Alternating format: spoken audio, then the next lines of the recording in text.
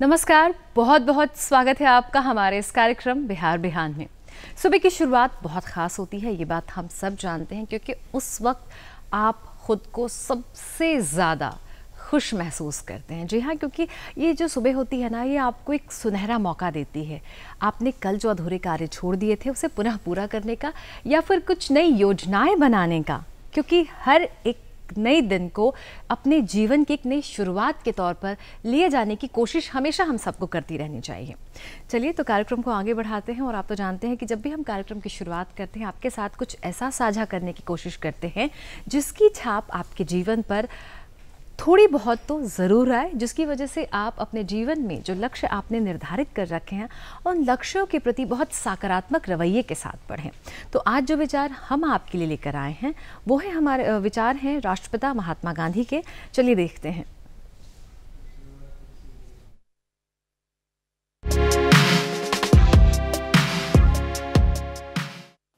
महात्मा गांधी ने कहा था जब मैं सूर्यास्त और चंद्रमा के सौंदर्य की प्रशंसा करता हूँ, मेरी आत्मा उसके निर्माता के पूजा के लिए विस्तृत हो उठती है। आज हमारे साथ जो मेहमान मौजूद हैं, हमारे साथ इस स्टूडियो में मैं आपको बता दूँ कि वो एक आईएफएस ऑफिसर हैं। जी हाँ 2011 बैच की। उनके बारे में मैं आपको कुछ और जानकारी देना चाहूँगी कि वो हैं फ़िलहाल तो वो क्षेत्रीय पासपोर्ट अधिकारी हैं। साथ ही साथ वो हैं प्रोटेक्टर ऑफ़ इमिग्रेंट्स बिहार और झारखंड और आईसीसीआर की रीजनल डायरेक्टर हैं बिहार और झारखंड। ताविशी बहल पांडे स्वागत करते हैं उनका हम हमारे कार्यक्रम बिहार बिहान में। आपका बहुत बहुत स्वागत है मैम हमारे कार्यक्रम में। जो भी जिम्मेदारियाँ आपको सौंपी गई हैं अपने कार्य क्षेत्र में बहुत महत्वपूर्ण हैं। क्योंकि जब पासपोर्ट की बात आती है उस वक्त भी बहुत बड़ी ज़िम्मेदारी हो जाती है क्योंकि बहुत कागज़ी कार्रवाई करनी होती है। बहुत ही छोटी छोटी बातों पे ध्यान देने दे, देने की ज़रूरत होती है उस वक्त। आप प्रोटेक्टर ऑफ़ इमिग्रेंट्स हैं और आईसीसीआर यानी कल्चरल एक्सचेंज कल्चर्स जो है उसको भी बढ़ावा उसको भी विकसित करने में उसको विस्तारित करने में आपकी बहुत अहम भूमिका है। लेकिन हम सबसे पहले शुरू करना चाहेंगे आपका जो पहला जो सबसे बड़ी ज़िम्मेदारी है वो क्षेत्रीय पासपोर्ट अधिकारी। Passport Aadhaar card PAN card या बाकी जितने भी कागजात जब हमें बनाने होते हैं तो उस तरह की आ, सोच हमारी विकसित नहीं होती है कि बहुत परेशानी होगी या ये होगी हम आराम से बनवा लेते हैं। लेकिन जब पासपोर्ट की बात आती है तो पता नहीं क्यों भ्रांति है लोगों के मन में कि बहुत परेशानी होगी बहुत कागज़ों की ज़रूरत होगी बहुत पैसे लग जाएँगे। जो कि आप हमारे समक्ष हैं तो हम आपसे जानना चाहेंगे क्या ये भ्रांति सही है या बस लोग ऐसे ही डर जाते हैं? मुझे लगता है कि जो ये भ्रांति है लोगों में ये इस वजह से है क्योंकि काफ़ी साल पहले हम्म। बहुत साल पहले हम लोग 20, 25 या 30 साल पहले जो पासपोर्ट था एक वो एक लग्जरी आइटम माना जाता था काफ़ी कम मात्रा में लोग उसके लिए अप्लाई करते थे क्योंकि फॉरेन ट्रैवल एक एलियन कंसेप्ट था कि हमें विदेश जाना है तो कुछ ही लोग विदेश जाते हैं। तो इस वजह से वो जो एक लोगों के मन में डर है कि पता नहीं पासपोर्ट कैसे बनेगा, मुझे लगता है ये उस वजह से चलता आ रहा है। बट पिछले कुछ सालों में 10-11 सालों से जो सरकार ने चेंजेस करे हैं पासपोर्ट आवेदन के लिए कि वो सिंप्लीफाई हो जाए प्रोसेस उसके बाद मुझे लगता है कि आधार कार्ड या जन्म प्रमाण पत्र से भी आसान हो गया है पासपोर्ट बनवाना अब। आपको बेसिकली uh, एक पासपोर्ट बनवाने के लिए तीन चीज़ें चाहिए होती हैं। कि आप डेट ऑफ़ बर्थ क्या है आपका? आप कहाँ रहते हैं, एक उसका प्रूफ और अगर आप पढ़े लिखे हैं, आपने टेंथ पास कर रखी है तो आपकी एजुकेशनल क्वालिफिकेशन अगर आपके पास ये तीन चीज़ें हैं डेट ऑफ़ बर्थ के लिए और एड्रेस के लिए तो आधार कार्ड है ही हमारे पास। और आपकी अगर स्कूल की डिग्री है कॉलेज की डिग्री है तो अगर ये तीन चीज़ें हैं तो आपका पासपोर्ट बिल्कुल ही आसानी से बन जाएगा।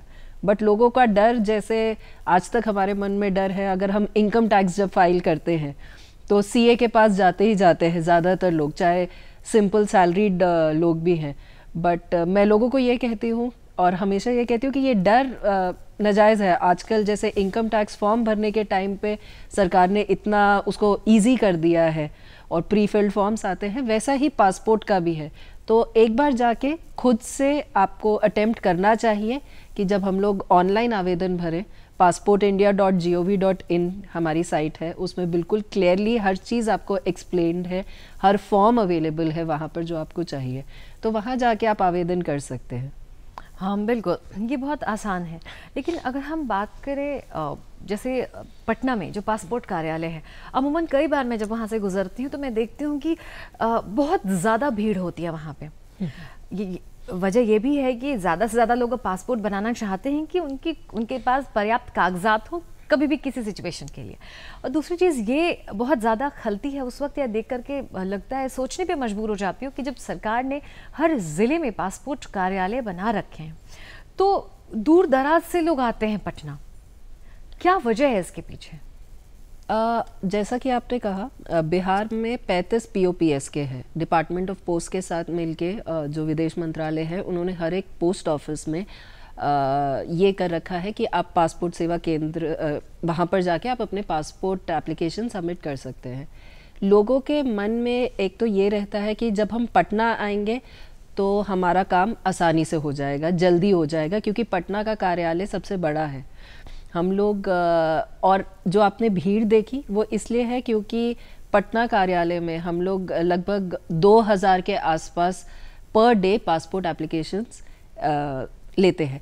बट ये टेंडेंसी लोगों की ज़्यादा है कि जब वो दूसरे ज़िलों से आते हैं अप्लाई करने के लिए पटना में, क्योंकि उनके मन में होता है कि पटना से जल्दी मिल जाएगा हमें पासपोर्ट तो वो क्या करते हैं कि जो उनका टाइम स्लॉट होता है अपॉइंटमेंट के हिसाब से वो वैसे नहीं आते।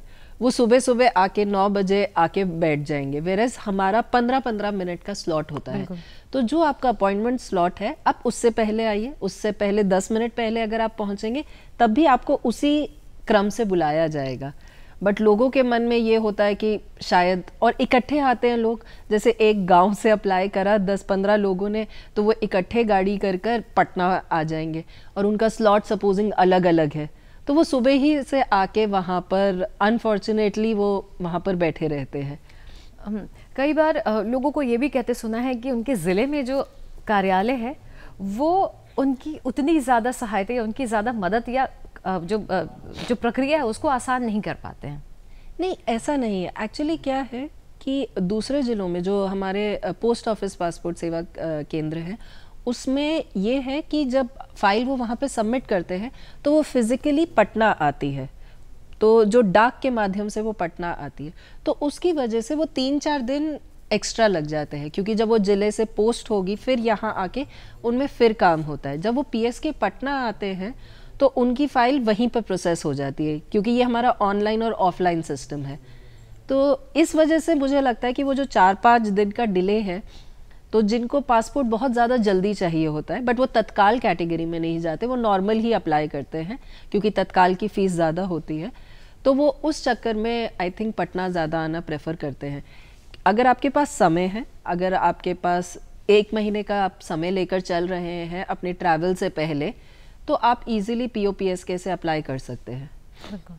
मैम ये तो हो गया। चलिए ज़िला बता दिया आपने कि मतलब समय के अभाव में या बहुत जल्दबाजी में लोग इस तरीके से करते हैं और जानकारी भी बहुत ज़्यादा नहीं होती है लोगों को। कुछ अहम जानकारी हम आपसे जानना चाहेंगे कि क्या कुछ अहम पॉइंट्स हैं जिनका ध्यान रखना चाहिए जब हम पासपोर्ट के लिए अप्लाई कर रहे होते हैं जब हम अपॉइंटमेंट्स के लिए जा रहे होते हैं फिज़िकली देखिए सबसे पहली बात जो आ, मुझे यहाँ एक्सपीरियंस हुआ है कि आप कृपया करके एजेंट के माध्यम से मत जाइए। क्योंकि एजेंट क्या होता है? वो आपके आ, बहुत ज़्यादा जो हमारा पासपोर्ट एप्लीकेशन फॉर्म है सिंपल है और साथ में आपकी बहुत ज़्यादा पर्सनल इन्फॉर्मेशन उसमें होती है। आपके फादर का नाम क्या है? आपकी मदर का नाम क्या है? आप कितना पढ़े लिखे हैं? आप गवर्नमेंट सर्वेंट हैं या नहीं है? आप सेल्फ एम्प्लॉयड हैं या नहीं? तो कई बार जो हमारे एजेंट होते हैं उनको जानकारी का अभाव होता है। वो कई बार आपसे करेक्ट क्वेश्चंस नहीं पूछते और वो जो आपका फॉर्म है वो बहुत ज़्यादा उसमें कुछ कमियाँ कर देते हैं। और उस वजह से मैंने जहाँ तक देखा है ज़्यादातर लोगों को जितने भी दिक्कतें आती है पासपोर्ट बनाने में वो एजेंट ने कुछ गलत फॉर्म भर दिया होता है या आ, उन्होंने गलत जानकारी दी होती है एप्लीकेंट को तो वो उस चक्कर में आती है। तो अगर आप अपना खुद भर सकते हैं तो मेरी बहुत ज़्यादा अपील रहती है लोगों से कि अपना फॉर्म खुद भरिए। रही बात उन लोगों की जो कम पढ़े लिखे हैं तो बिहार सरकार के जो वसुधा केंद्र है हर एक ज़िले में है वो मात्र सौ रुपए लेके आपका पासपोर्ट एप्लीकेशन फॉर्म भरते हैं। तो रादर देन आप किसी एजेंट के पास जाइए किसी साइबर कैफ़े के ओनर के पास जाइए कि हमारा फॉर्म भर दीजिए इससे अच्छा वसुधा केंद्र जाइए। और साइबर कैफ़े में हमारे जो सबसे ज़्यादा दिक्कत हमारी ये आती है कि अगर आपके पासपोर्ट एप्लीकेशन में कोई भी समस्या आती है आपको फिर से आना होता है पासपोर्ट कार्यालय क्योंकि आपका ईमेल आईडी जो है और आपका फ़ोन नंबर जो है वो है ऑनलाइन एप्लीकेशन के लिए यूज़र नेम और पासवर्ड। तो जो साइबर कैफ़े वाला होता है वो अपने क्रीडेंशियल्स यूज़ करता है। कभी वो बंद हो जाता है कभी वो शिफ्ट हो जाता है कभी वो भूल जाता है साइबर कैफ़े वाला। तो आप पासपोर्ट एप्लीकेशन की ज़िम्मेदारी अगर आप खुद के ऊपर लेंगे तो आपके लिए ज़्यादा आसानी रहेगी। बिल्कुल। तो ये जो सरकार और जो जनता के बीच में जो लोगों की एंट्री हो जाती है हम्म। इसकी वजह से मुझे लगता है कि कॉम्प्लेक्स हो जा रहा है जटिल हो जा रहा है जबकि बहुत आसान है। आप पोर्टल पे जाइए फॉर्म भरिए। बिल्कुल। आपको ऑनलाइन आपको मोबाइल पे आ जाएगा मैसेज कि आपका अपॉइंटमेंट इस डेट को है आप जाइए। टाइम भी पता है आपको। बहुत आसान है। आप 10-15 मिनट पहले पहुंचिए वहाँ पर पीएस के आपकी एंट्री हो जाएगी। वहाँ पर आपको आपने अगर फॉर्म भरा होगा कभी तो आपको उसमें पता चल जाएगा कि रिपोर्टिंग टाइम हम्म, और अपॉइंटमेंट टाइम भी एकदम क्लियरली दिया होता है। पंद्रह मिनट पहले आइए। और आप जब वहाँ जाएँ हमारा काफ़ी सारी सहूलियत हुई है जैसे हमारा डिजी लॉकर के डॉक्यूमेंट्स हैं। आप वहाँ पर वेरीफाई करके लेकर डिजी लॉकर में अपने डॉक्यूमेंट्स अपलोड करके लेकर जा सकते हैं आप अपने ओरिजिनल डॉक्यूमेंट्स कैरी करिए क्योंकि हमें बेसिकली वही वेरीफाई करने होते हैं। कई बार लोग फ़ोटो कॉपी ले आते हैं या आ, कुछ ऐसे ले आते हैं तो कैरी और ओरिजिनल डॉक्यूमेंट्स अगेन तीन डॉक्यूमेंट्स ही तीन टाइप के डॉक्यूमेंट्स आपको चाहिए। डेट ऑफ़ बर्थ का प्रूफ एड्रेस का प्रूफ और आपका एजुकेशनल बस ये तीन तरह के डॉक्यूमेंट्स आप लेकर जाइए वहाँ पर original and within half an hour आपका पूरा प्रोसेस जो फिंगर प्रिंटिंग है फोटोग्राफ है वेरिफिकेशन ऑफ़ डॉक्यूमेंट्स है और ग्रांटिंग ऑफ़ पासपोर्ट ईजिली हो ईजिली हो जाता है। चलिए ये तो नॉर्मल पासपोर्ट की बात आपने कही लेकिन जब तत्काल की बात आती है तो वैसे में जो इमरजेंसी में ट्रैवल करना होता है जिनको या उनके पास पासपोर्ट नहीं लेकिन इमरजेंसी आ गई है तो उनको चाहिए होता है। या फिर जिनकी जॉब हो गई है अचानक से बट किसी नेग्लिजेंस की वजह से उनके पास पासपोर्ट नहीं है। हम्म। तो तत्काल पासपोर्ट बनाने की प्रक्रिया क्या है? क्योंकि अक्सर लोग नॉर्मल जो तरीका है उसमें तो जाता है लेकिन तत्काल के नाम से एक तो पासपोर्ट बनवाने के नाम से ही थोड़ा सा उनके मन में हेजिटेशन जब तत्काल की बात आती है तो और ज़्यादा वो हेजिटेट करते हैं। नहीं तत्काल पासपोर्ट भी बनवाना बहुत इजी है। सबसे पहली बात बिहार में तत्काल पासपोर्ट के एप्लीकेशन जो है वो सिर्फ़ हम पटना में एक्सेप्ट करते हैं ज़िलों में नहीं करते। तो जो पोस्ट ऑफ़िस पीएसके है क्योंकि वो वहाँ से आती है मैंने जैसे आपको बताया कि डाक के माध्यम से हमारे पास पोस्ट पहुँचती है तो इस वजह से हम लोग वहाँ पर तत्काल एप्लीकेशन एक्सेप्ट नहीं करते। तो सब पटना में आ गए। और आपको जैसे नॉर्मल एप्लीकेशन के लिए मिनिमम टू आईडी प्रूफ्स लगते हैं आपके। वैसे अगर आप तत्काल के लिए अप्लाई करते हैं तो आपको तीन आईडी प्रूफ्स देने होंगे। तो जैसे कि अगर आ, आपका आधार हो गया आपका पैन कार्ड हो गया और आप अपना ड्राइविंग लाइसेंस ले आए। और उनमें सबसे ज़्यादा दिक्कत जो तत्काल प्रोसेसिंग में हमारे लिए होती है कि आ, हम लोग जो हैं हम अपने हर एक डॉक्यूमेंट जो है ना उनको एक जैसा नहीं बनाते। मतलब किसी में फादर्स नेम कुछ और हो जाएगा स्पेलिंग अलग हो जाएगी। अगर आपका सपोजिंग कमल किशोर सिंह है आपके फादर का नाम तो किसी में कमल किशोर होगा किसी में कमल सिंह हो जाएगा किसी में किशोर सिंह हो जाएगा। तो हमारे डॉक्यूमेंट्स अगर तीनों मैचिंग हैं तीन आईडी प्रूफ जो आप सबमिट कर रहे हैं तो आप तत्काल के लिए भी अप्लाई कर सकते हैं तो बेसिकली हम्म। तत्काल में तीन आईडी प्रूफ्स लगते हैं आपके. तो बेसिकली पासपोर्ट बनवाने में ज़्यादा परेशानी नहीं है परेशानी इस चीज़ में आती है कि आपके पास जो प्रूफ्स हैं उसमें सारी जानकारी सटीक हो और एक समान हो एग्जैक्टली exactly. जैसे सबसे ज़्यादा दिक्कत और डिफ़िकल्टी की बात आती है डेट ऑफ़ बर्थ की मेरे पास कुछ कुछ केसेस ऐसे भी आए हैं अभी हाल ही की बात है कल की जहाँ पे एप्लीकेंट ने चार बर्थ सर्टिफिकेट्स अलग अलग डेट ऑफ़ बर्थ के अलग अलग डेट ऑफ़ इशू से हमारे ऑफ़िस में सबमिट कर दिए। तो आ, क्योंकि अलग अलग उन्होंने तीन चार पासपोर्ट बनवाए अपने आ, उसमें हर एक में डेट ऑफ़ बर्थ अलग और ये सब।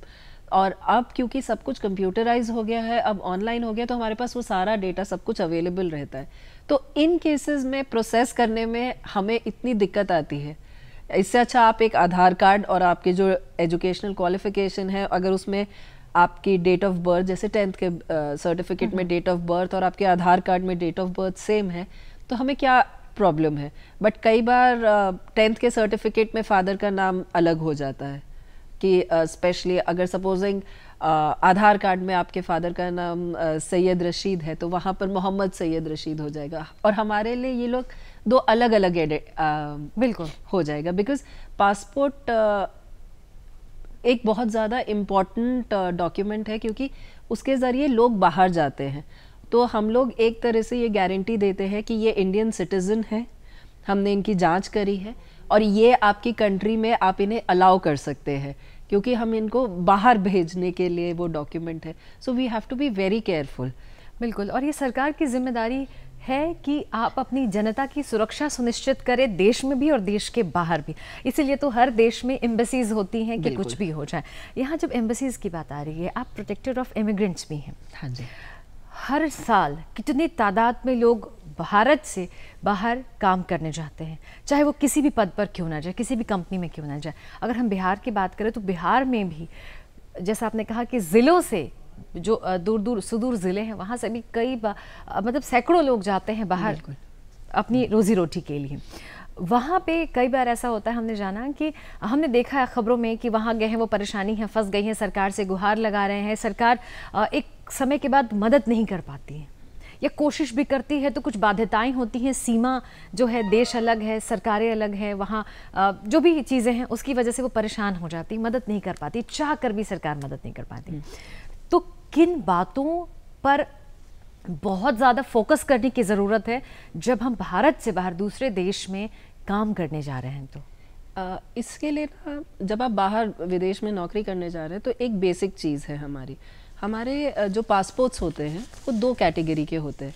E C R emigration clearance required and E C N R emigration clearance not required तो अगर आप दसवीं से ज़्यादा पढ़े लिखे हैं तो आपको E C N R passport मिलता है। और अगर आप उससे कम पढ़े लिखे हैं तो आपको ई सी आर पासपोर्ट मिलता है। जब आपको ई सी आर पासपोर्ट मिलता है तो आपको प्रोटेक्टर ऑफ़ एमिग्रेंट्स कार्यालय से एमिग्रेशन क्लियरेंस लेना पड़ता है। तो एक तो अगर आपके पास ई सी आर पासपोर्ट है और आप बाहर नौकरी करने के लिए जा रहे हैं तो आप एमिग्रेशन क्लियरेंस बिल्कुल लीजिए। और एमिग्रेशन क्लियरेंस लेने में हम लोग आपके सारे डॉक्यूमेंट्स चेक करते हैं कि आपने जिस आप कंपनी में काम करने जा रहे हैं, वो है या नहीं। आपका जो वो सैलरी दे रही है, वो है या नहीं। जो क्लेम कर रहे हैं, आपको काम के, आपको पेंटर की तरह रखेंगे, वहाँ पर लेबरर की तरह रखेंगे, वो कंपनी वो काम ऑफ़र कर भी रही है या नहीं। तो वहाँ जाके, क्योंकि अक्सर वहाँ जाके लोगों की जो बेसिक कंप्लेंट होती है कि हमें बोला तो था कि हम लोग वेल्डर बनेंगे यहाँ पर आकर और हमें यहाँ से यहाँ पर आकर मजदूरी का काम करवाया जा रहा है। तो अगर आप ई e पासपोर्ट होल्डर हैं तो आप इमिग्रेशन क्लियरेंस मतलब विदाउट फेल लीजिए। दूसरी चीज़ जो हमारी ये आ जाती है कि विदेश मंत्रालय के साथ बहुत सारे रिक्रूटिंग एजेंट हैं, वो पंजीकृत हैं। आप सिर्फ़ उन्हीं पंजीकृत रिक्रूटिंग एजेंट के माध्यम से बाहर जाइए। क्योंकि यहाँ पर टेंडेंसी ये है कि कोई भी गाँव का दोस्त है आपका, वो विदेश में तीन साल होकर आया, फिर वो वापस आ जाता है और फिर वो एक अपना रिक्रूटिंग एजेंट बन जाता है कि मैं तुम्हें बाहर भेज दूँगा। उसको ना नियम की जानकारी होती है, ना उसके पास एडिक्वेट वेयर विद ऑल होते हैं कि सपोजिंग अगर आप वहाँ बाहर गए, इसके कहने पे वहाँ पर जाके आपको कोई भी समस्या हुई, कोई भी दिक्कत हुई तो जो ये एजेंट है, वो वापस आपको नहीं ला सकते, क्योंकि ये मतलब इनके पास कुछ भी नहीं है, सिर्फ़ एक फ़ोन करके कि हाँ मैंने नौकरी फिक्स कर दी और यहाँ से थोड़े बहुत पैसे इन लोगों से ले लिए। तो अगर आप रजिस्टर्ड रिक्रूटिंग एजेंट के माध्यम से जाएँगे, उनके पास हम लोग ये इस्टेब्लिश करते हैं कि वो एक वेल इस्टेब्लिश कंपनी है। अगर आपको वहाँ पर कोई भी दिक्कत होगी तो वो आपको वापस ला सकते हैं हमारे सरकार के इंटरवेंशन के साथ। और तीसरी चीज़ जो हमारी ध्यान रखनी होती है कि आप अगर विदेश में नौकरी करने जा रहे हैं तो टूरिस्ट वीज़ा पर मत जाइए। टूरिस्ट या विज़िट वीज़ा पर बिल्कुल नहीं जाइए। वहाँ जाके आपका टूरिस्ट वीज़ा तीन महीने में ख़त्म हो जाता है। आपके रिक्रूटिंग एजेंट उसको एम्प्लॉयमेंट में वादा कर देते हैं कि वहाँ जाके आपका एम्प्लॉयमेंट में कन्वर्ट होगा। वहाँ जाके जो आपकी कंपनी है, वो आपसे एक्स्ट्रा पैसे लेती है कि वो एम्प्लॉयमेंट में कन्वर्ट कर देगी। मेरे पास इतने सारे केसेस थे मलेशिया के। अराउंड 200-250 लोग हैं बिहार से, जो पिछले तीन और पाँच साल से आ, वहीं पर फंसे हुए हैं क्योंकि वो विज़िट वीज़ा पे गए थे उनका वीज़ा ख़त्म हो गया एम्प्लॉयमेंट वीज़ा में कन्वर्ट नहीं हुआ तो अभी जो है वो कंपनी के अंदर ही रहते हैं क्योंकि वो बाहर निकले के तो वो फंस जाएँगे। तो ये तीन चीज़ों का आपको ध्यान रखना है कि रजिस्टर्ड रिक्रूटिंग एजेंट के माध्यम से जाना है और एम्प्लॉयमेंट वीज़ा पर ही बाहर जाना। वीज़ा लेकर के वर्किंग वीज़ा हो या हम टूरिस्ट वीज़ा लेकर के हम बाहर चले गए हम काम करना हमने शुरू कर दिया। विदेश जा कर के पहली ज़िम्मेदारी क्या होनी चाहिए और पहला क्या काम होना चाहिए हमारा हमारी सेफ्टी इंश्योर करने के लिए? सबसे पहले जो हमारी सेफ्टी इंश्योर करने के लिए आपका स्टेप होना चाहिए जो आपका कंपनी की डिटेल्स हैं आपका जो वीज़ा डिटेल्स है आपके पासपोर्ट की डिटेल्स हैं वो प्लीज़ एक आप अपने पास कॉपी रखिए। किसी ऑनलाइन मीडियम में रखिए और जो आपके यहाँ पर लोग हैं फैमिली है, उनके पास ज़रूर आप उनको दीजिए। क्योंकि उसी से जब अगर कुछ भी अगर आपको वहाँ पर परेशानी होती है, दिक्कत होती है तो आपकी फैमिली को यहाँ पर इन्फॉर्म करने में आसानी होती है। तो प्लीज़ प्लीज़ प्लीज़ इन सब चीज़ों की एक कॉपी आप अपने पास रखिए, एक ऑनलाइन मीडियम में रखिए और दूसरा एक अपनी फैमिली के पास रखिए। जब आप विदेश पहुँचते हैं तो प्लीज़ जो सेकंड स्टेप है हमारा, वो एम्बेसी या हमारा जो दूतावास है, वहाँ जाके आप अपने आप को रजिस्टर ज़रूर करवा लीजिए कि हम यहाँ पर आए हैं, हम लॉन्ग टर्म यहाँ पर स्टे करने वाले हैं। चाहे आप एम्प्लॉयमेंट वीज़ा पर गए हैं, चाहे आप स्टूडेंट वीज़ा पे गए हैं, काफ़ी सारे लोग हमारे पढ़ने भी जाते हैं बाहर। तो आप वहाँ जाके रजिस्टर करवा दीजिए। तो हमें ये बात एम्बेसी को पता चल जाएगी कि आप हमारा एक भारत का नागरिक यहाँ पर है। और अगर आगे जाके आपको कोई भी समस्या आती है कोई भी दिक्कत आती है तो हम हमें आ, आपको ढूँढने में आपकी मदद करने में हमेशा आसानी रहेगी। तो ये दो चीज़ें जो हैं वो ध्यान में रखना चाहिए। हम बात कर रहे थे कि कई बार परेशानी में फंस जाते हैं। तो उस कंडीशन में एम्बेसी का क्या स्टेप होता है? और साथ ही साथ उनके जो फैमिली मेंबर्स हैं उनको पता चल गया तो वो अप्रोच करते हैं। कई बार उनके फैमिली मेंबर्स को नहीं पता चलता। जो व्यक्ति बाहर काम कर रहा होता है वो क्या करे उस कंडीशन में? अगर कोई किसी परेशानी में फंस जाता है मेडिकल इमरजेंसी भी हो सकती है उसे या उसके साथ कोई हादसा हो सकता है या हो सकता है कि जहाँ वो काम कर रहा है उसके साथ कोई दुर्व्यवहार हुआ हो। किसी भी तरह की इमरजेंसी हो सकती है। उस कंडीशन में क्या करे वो? उस कंडीशन में सबसे पहले चीज़ है कि आपको दूतावास जाना चाहिए। जैसा कि मैंने पहले भी कहा था कि अगर आपके पास आपके पासपोर्ट की कॉपी है तो बहुत ज़्यादा सहूलियत हो जाती है दूतावास को आपकी हेल्प करने में, क्योंकि हमारे पास पासपोर्ट का नंबर होता है, हम जाँच कर सकते हैं कि ये सचमुच भारतीय नागरिक है या नहीं। अदरवाइज़ बहुत सारा, अगर उसके पास, आपके पास कोई भी कागज़ नहीं है तो एटलीस्ट कई बार हमारे सिचुएशन में ये आता है कि जो आपका एम्प्लॉयर है बाहर, वही आपका पासपोर्ट रख लेते हैं। तो आपके पास वैसा नहीं होता बट इस वजह से आप एक फ़ोटो कॉपी अपने आजकल तो सबके पास स्मार्टफ़ोन है फ़ोन में एक फ़ोटो खींच कर रख लीजिए अपने पासपोर्ट की, ताकि एटलीस्ट हमारे पास पासपोर्ट का नंबर आपका पता चल सके कि आप एक्चुअली में भारतीय नागरिक हैं या नहीं। और जैसे कि आपने कहा क्या क्या मदद होती है तो हमारे जो भारतीय दूतावास है स्पेशली जो हमारे गल्फ़ कंट्रीज़ के में हैं उन्होंने उनके पास काफ़ी सारे शेल्टर्स बना रखे हैं। स्पेशली अगर आप फीमेल हैं और अगर आपके साथ कुछ भी वहाँ पर आप जॉब करने गए, आपको पसंद नहीं आया काम या कोई भी आपके साथ दुर्व्यवहार हुआ तो हमारे पास वहाँ पर विमेन शेल्टर्स भी हैं जहाँ पर फीमेल्स को हम लोग रखते हैं जब तक उनका एग्ज़िट फॉर्मेलिटीज़ कि जब तक वो वापस यहाँ पर आ, नहीं आ पाते। तो सबसे इंपॉर्टेंट चीज़ जो है कि आप दूतावास को संपर्क करें। कैसे भी है? और अगर आपके पास सपोजिंग कोई भी डॉक्यूमेंट नहीं है आपके पास पासपोर्ट भी नहीं है कुछ भी नहीं है देन ऑल्सो आप अपने दूतावास में जाइए। उन हमारे पास डेडिकेटेड सेल्स हैं स्पेशली गल्फ़ कंट्रीज़ में जो सिर्फ़ इन इश्यूज़ से डील करते हैं। और रही बात यहाँ पे फैमिली मेंबर्स की तो जो यहाँ के फैमिली मेंबर्स हैं उनको आ, अगर आ, आप संपर्क नहीं कर पा रहे हैं अपने प्रियजनों से जो बाहर हैं या कुछ भी वो आपको कम्युनिकेट कर रहे हैं कि आपके साथ आ, कुछ परेशानी हो रही है तो यहाँ पर जो नियोजन भवन में हमारा प्रोटेक्टर ऑफ़ एमिग्रेंट्स कार्यालय है आप वहाँ पर संपर्क कर सकते हैं कि और जितनी भी आप डिटेल्स दे सकें कि कौन सी कंपनी में वो काम कर रहे हैं उनका लोकल नंबर क्या है हम कैसे संपर्क कर सकते हैं तो ये सारी चीज़ें आप हमारे पास भी आकर हमें अप्रोच कर सकते हैं। हम्म, बिल्कुल तो ये ज़िम्मेदारी परिवार के लोगों की भी है साथ ही साथ जो व्यक्ति बाहर जा रहा है उसकी भी ज़िम्मेदारी है कि छोटी से छोटी जो जानकारी है उस व्यक्ति के बारे में जहाँ वो जा रहे जिस देश के बारे में जिस कंपनी के बारे में होना अनिवार्य है तभी हम आ, सरकार जो है सहायता कर पाएगी।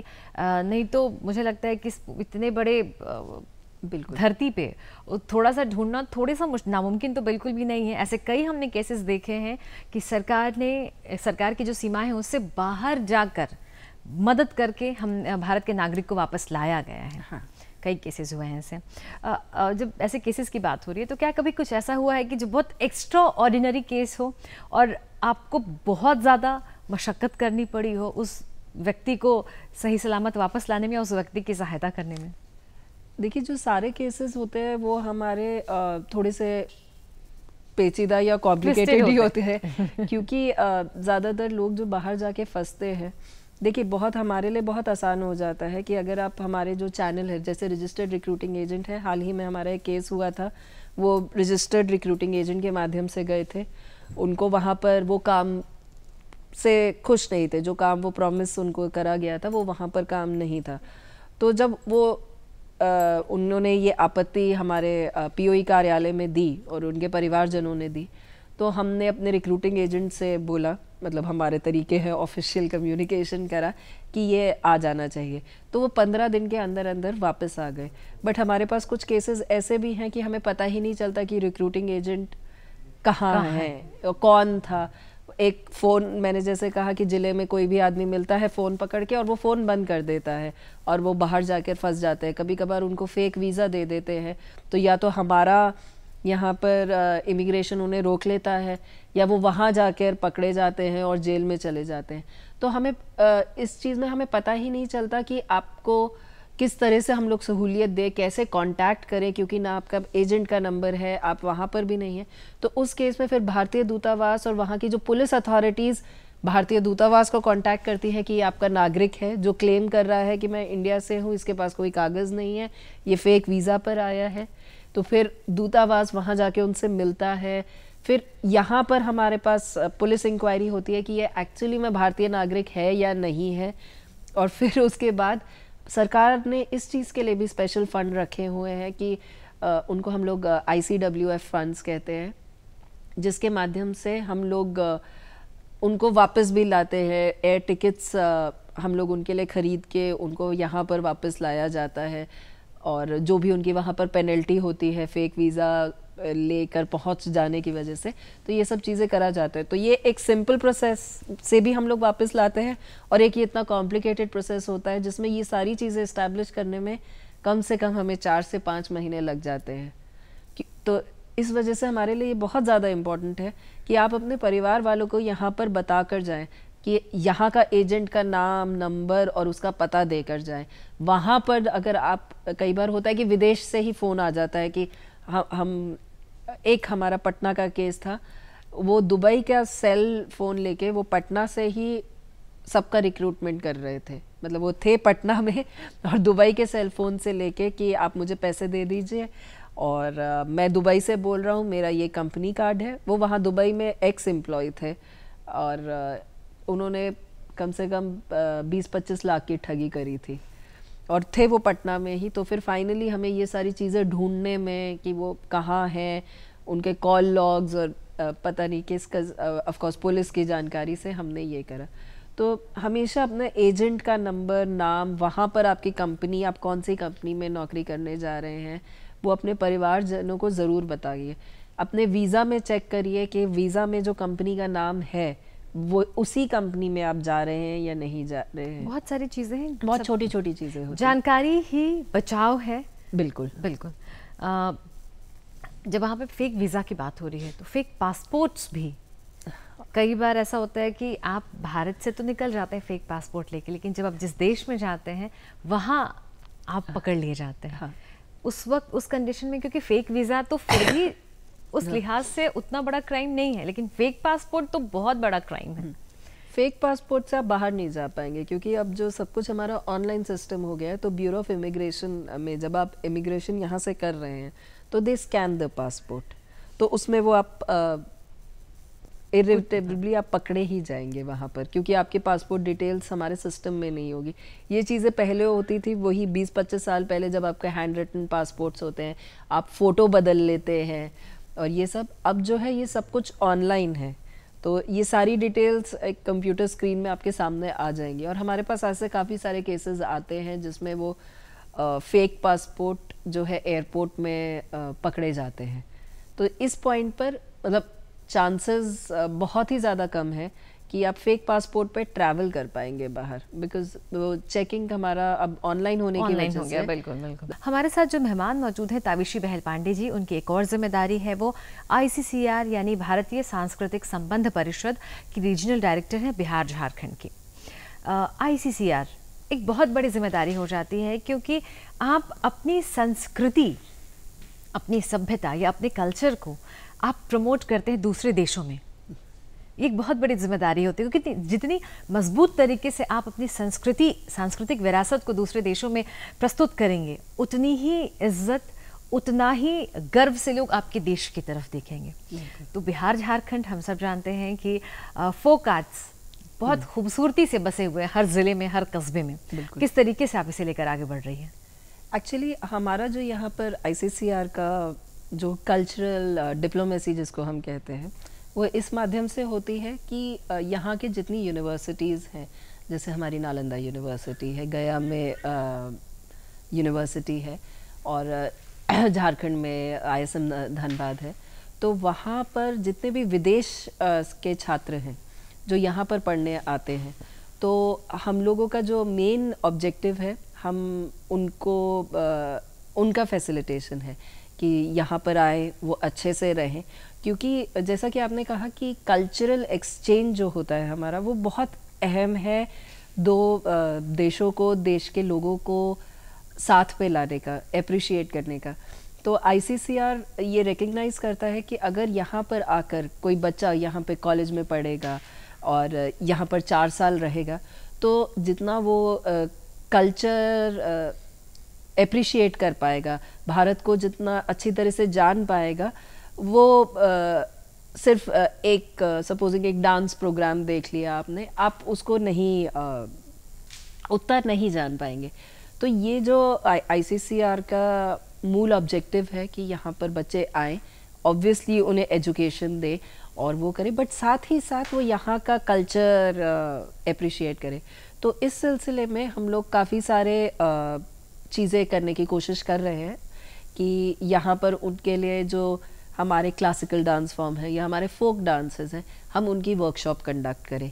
यहाँ का जो बिहार का लोकल क्विजीन है, ये है तो उनके लिए सपोजिंग एक फ़ूड मेला हम लोग ऑर्गेनाइज करें कि ये हमारा क्विजीन है, ये हमारा डांस फॉर्म है, ये हमारा म्यूज़िक है।